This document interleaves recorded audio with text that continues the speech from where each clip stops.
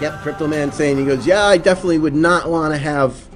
Uh, I would rather have a um, a bull run that instead of a bull run that, but to have sustainable growth. And we were just talking about that before, uh, where we don't want to see these giant peaks and valleys. It's better to have a nice climb with some little tidbits in there that pop. But for the most part, you want to see uh, sustained growth. That's far better.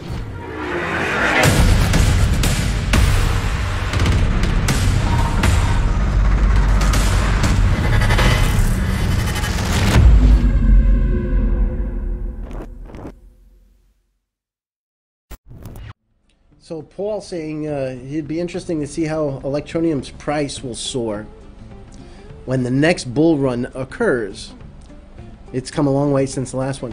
All right, so you guys have to remember, everybody keeps talking about a bull run and a bull run. If you look at the chart from 20, 24, 14, uh, 14 to 17 it's three years. There's a three. Let's, we got to bring this up. There's everybody. Everybody's talking about a bull run, and there's not going to be a bull run at the end of this year. Uh, that's my opinion. You can tell me I'm all wet. I don't know what I'm talking about.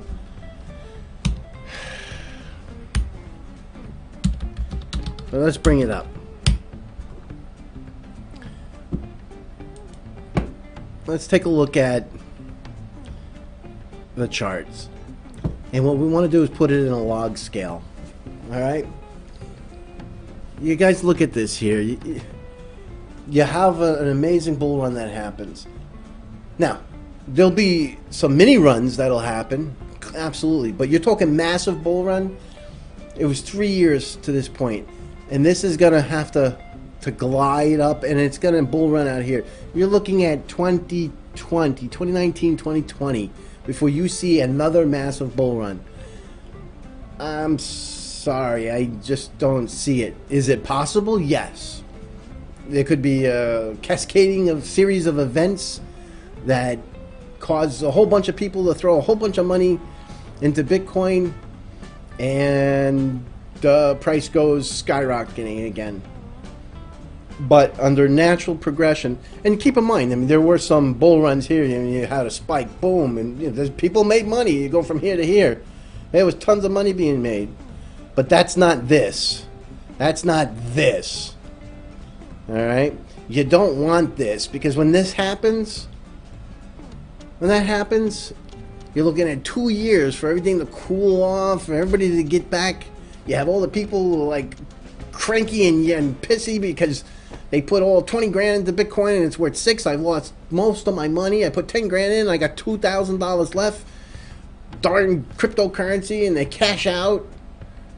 And they're all cranky and crummy and all upset. It, it, it takes years for that to cool off. You really don't want that. You want this with some spikes these are good things to have happen. These are the things. If it just kept doing this all the way up, I'd be real happy. And it would be better for everybody. You'd have some spikes in there. You can sell a little high. You get a nice general increase. These things aren't good. And that's the reason why it is such a long cool off period. And it's my opinion, you're not going to see anything massive again like this for until 2020. My personal opinion.